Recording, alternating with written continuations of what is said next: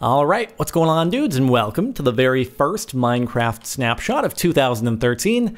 There are a lot of cool new features in this one. I know I say that kind of frequently at the start of each of these snapshot update videos, but I'd sort of like to emphasize that this time around. So, version 1.5, as you may or may not be aware of, is supposed to be the quote-unquote redstone update. So many of the things that have been added this time around are related to redstone and trying to sort of improve the functionality of it. So, redstone buffs, be excited. Let's go ahead and get into things. A couple things to be aware of before we get into actually crafting and using these new items is uh, there's a new ore. It's called Nether Quartz and it's found in the nether. I just placed a block down here as an example. Can be mined with any pick and it will drop this nether quartz. So that's actually going to be used in some of the crafting recipes for the items we're going to be making here. So just keep that in mind. Also, there's this really cool new way that you can sort of craft items, move them around in your inventory screen. So if I pick up the stack of stone and I click and drag, it'll actually evenly distribute it all across where I'm dragging here. Very handy. Now you may be thinking, well, that's kind of a mess to now clean up and get it all back in one stack. Not exactly. Just double click and everything is back together. So another thing to keep in mind because I'll be using it because it makes crafting a bunch easier. It's really nice, actually. So, now let's get into the first new redstone related object. So something to keep in mind is that a lot of these new added items that relate to redstone work not based off the principle of on or off, but actually as far as signal strength and how far your signal is traveling out. So it's a little bit more fine tuned than just, well, is it on or is it off? So our first couple things here are these detector pressure plates that output a signal to a certain length, a certain strength, however you prefer to call it, based upon how many blocks are on the pressure plate. So the way these are crafted are like so, and I'll just grab these couple stacks of stone as well. So the gold one is just made like so, and it's a weighted pressure plate. This is light, so the fewer blocks you add to it, the more it'll be affected, or lesser blocks will affect it more than this one, which is the heavy pressure plate. So the way this works is I've just set up these couple examples here. If I start throwing blocks onto the gold one, you'll notice the first one trips the first door. If I keep adding blocks, it'll slowly start tripping off each of these doors sequentially, depending upon how much weight I add to it. So there we go. All the doors tripped off. It didn't take too many blocks to do it. Um, but on the other hand, the iron one takes a lot. In fact, uh, it's going to take more than just one stack to even trip off three of them. So here we go. We've gone through the first stack already. Now I'll start going through the second one. And the third one should trip here shortly.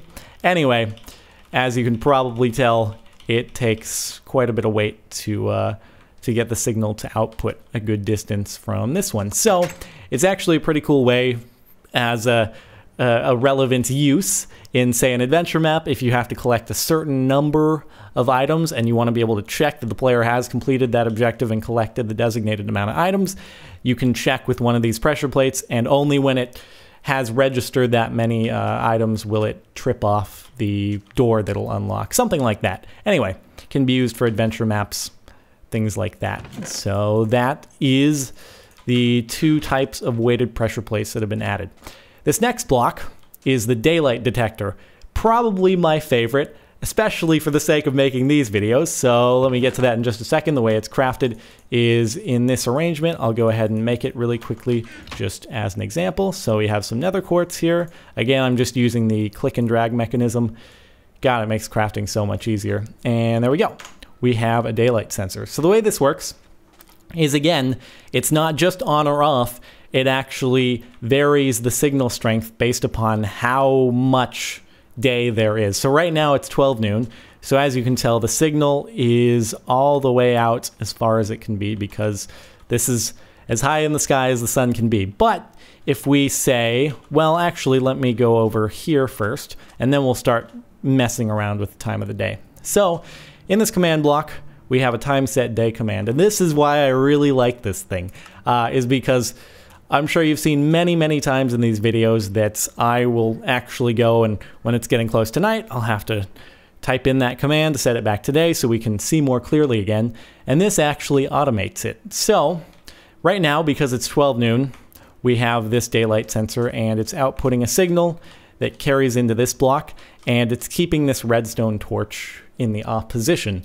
So command block is doing nothing. But if we say add, because I don't want to actually wait for it to trip off by itself, say we add 3000 time to the day. So time add 3000. Now, watch very carefully. I guess it didn't trip off quite yet. Hold on, we'll add just 1,000 more. And then it should trip, hopefully. There we go.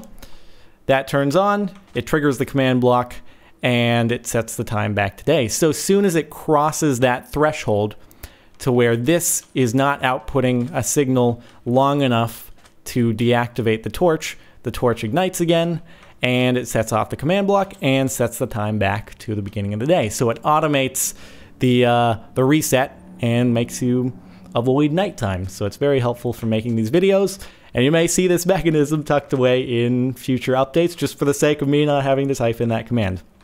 Um, finally, though, uh, it can be used for setting off a lamp at night. So if we just time set night and then we add, say, uh, actually, I think it'll trip off pretty quickly here if I have it set properly once the moon starts to come up. Just a couple seconds, it should retract the signal enough to set off the torch, and there we go, the light comes on. So again, varying degrees and that it will adjust the output signal depending upon how much day or how much night there is. So yeah, and again, you can just add an inverter if you want it to be a, a nighttime sensor versus a daylight sensor. So yeah, that's that. Now we'll go ahead and set things back today really quickly. Um, unfortunately, when you manually set it tonight, it sort of messes up the automated uh, sensor that resets it, so we'll just do it manually. All right, so anyway, the final block that is redstone related here is the comparator block. Now, it's kind of confusing, so let me try to go through it in the best explanation I could possibly come up with. So it has two inputs.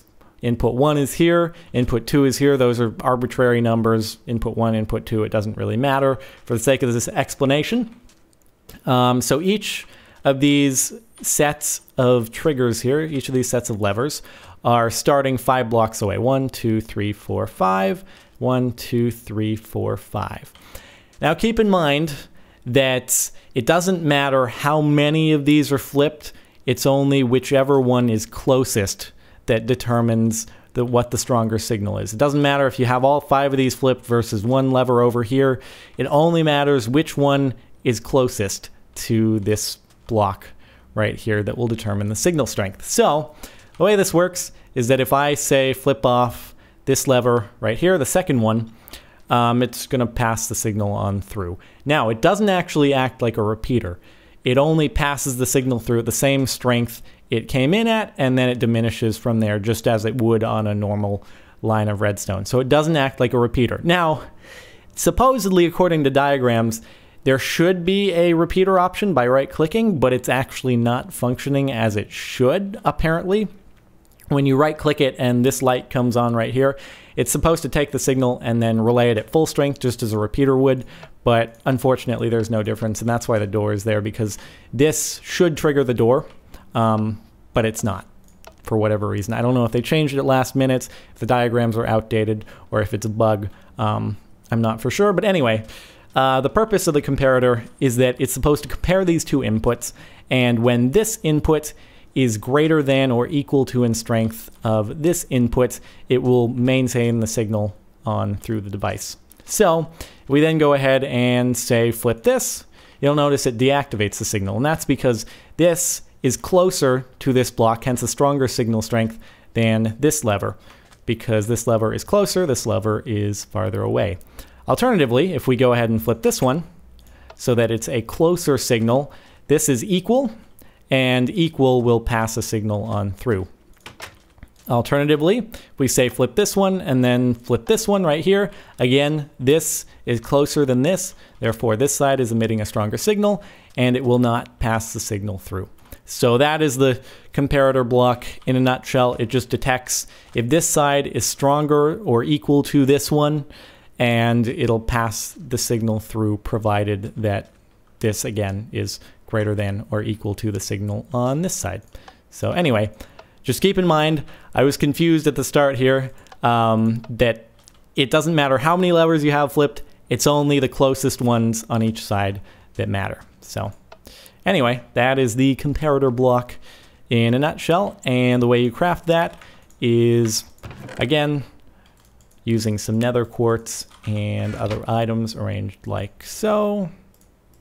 Let me do it really quickly. There we go. And that is the way you craft it. So those are the most significant redstone related items that have been added in this update, but there are a few more things to go over. I'm going to split it into uh, a couple of videos just in case you want to use this as sort of a, a reference to uh, to these different items. I'll add some annotations at the top, so if you ever want to revisit this and look over just an individual item, you can quickly navigate to its introduction and description.